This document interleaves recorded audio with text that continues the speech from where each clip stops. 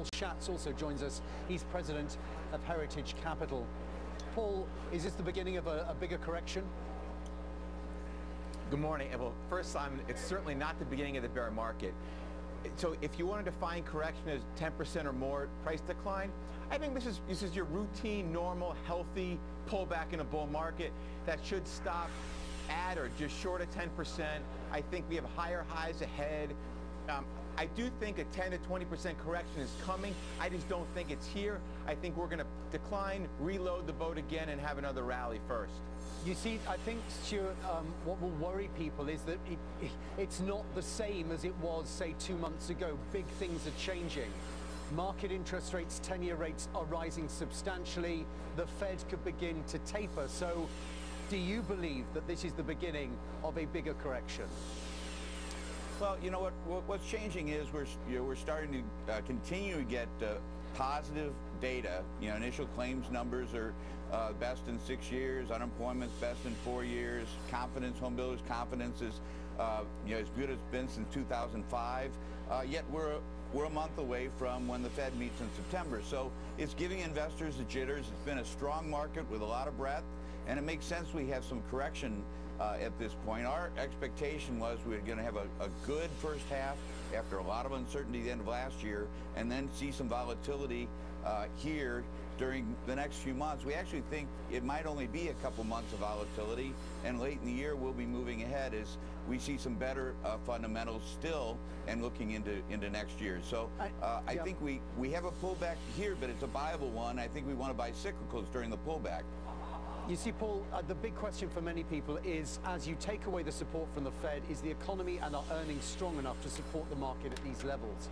Front and center, now, almost from left field, has come the retailers. Macy's, Walmart, Nordstrom, all disappointing. Can you explain what you think is going on there with those retailers and what that means for the economy and the market more broadly? So there's a lot well, there. You know, I think... so, Sorry, Paul, can you, Paul first, yeah? Sure. So, so first of all, the whole Fed taper talk, I think markets are fine if they know something's coming over a longer period of time. When oil spiked in, in 08, it went straight up. Markets couldn't, couldn't really digest it.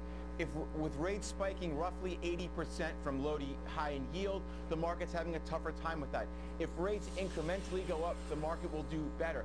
I would argue that I think you've probably seen the low in rates, you know, 150 on the 10-year, and the high is probably for this move maybe 3%-ish plus or minus. What the market needs is for rates to stay in, in range bound, you know, maybe two or two and a quarter and three and bounce around. Let the economy and the markets digest it and accept it.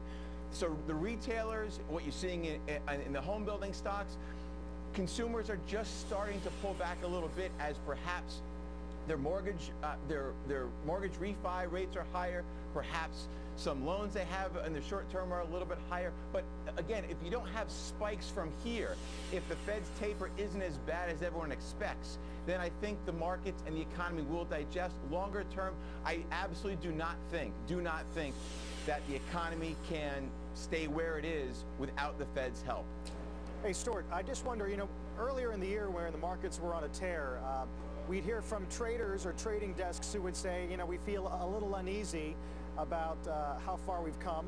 But all the portfolio managers kept saying, I've got too much cash, got all this pressure from clients saying, get me out of cash, uh, get me participating. Is that dynamic still going on, or do PMs feel like they their cash levels are now appropriate? I, I think what we saw at the beginning of the year really was uh, we had a tremendous ceiling over stocks last year as the economy moves ahead. We're going to the elections. We're going to the fiscal, fiscal cliff a lot of uncertainties. And as we pass through that, uh, some of those uncertainties passed behind us, and investors felt a little more comfortable to buy stocks. We had a nice move. We Part of the move we had the first half of this year was really uh, stolen from last year, where it probably should have occurred because of uncertainties. And uh, now we're in a, in a we're in position where investors, I think, are uh, portfolio managers are, are, are better uh, invested. However, there is a lot of cash on the sidelines uh, in, uh, in individual portfolios. The cash has not all been put to work. We've started to see a little bit of movement out of bonds and into stocks, but we think there's a lot more in this cycle, and we think this pullback, and we think that next year we see more growth in the economy, and we'll hit some higher highs by the end of next year. We've got a, an 18 uh, 50 to 1900 preliminary target for the end of next year for the S&P. Wow. In the meantime, guys, it's the middle of August. Have a great weekend, both of you. Stuart Freeman and Paul Have a Schatz great weekend. Thanks. on the markets. Thank you. Still ahead, the man behind Netflix's hit House of Cards will tell us how Netflix got